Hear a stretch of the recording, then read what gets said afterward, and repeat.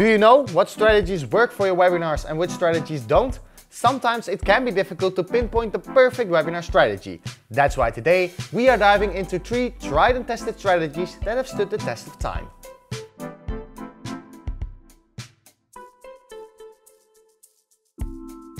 So what do we mean when we say classic strategies? Well, we are looking at some classic strategies that are still useful today. These are like old friends who can teach us some great things.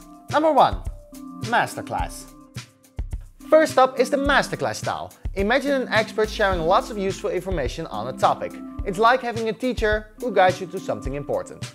But why is this a great strategy? Well, masterclasses let you learn a lot, and with today's technology, you can join it from your home and talk with the expert using live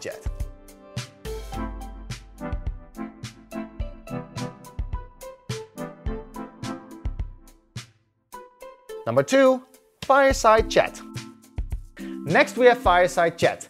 Picture sitting by a virtual fireplace and having a relaxed conversations with important people in your industry. This makes the webinar feel friendly and real.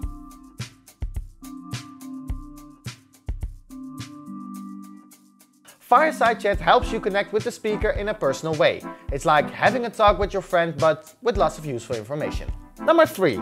Roundtable discussion. Finally, let's talk about roundtable discussions. This classic way involves a group of experts talking about a topic from different angles. It's a great way to hear different ideas.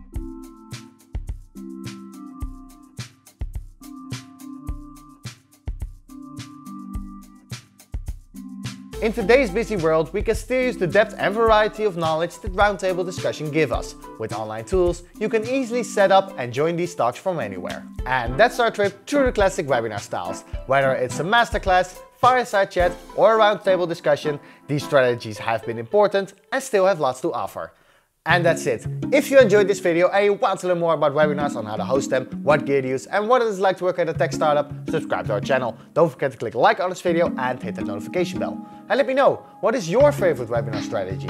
Thank you so much for watching and see you on the next one. Bye!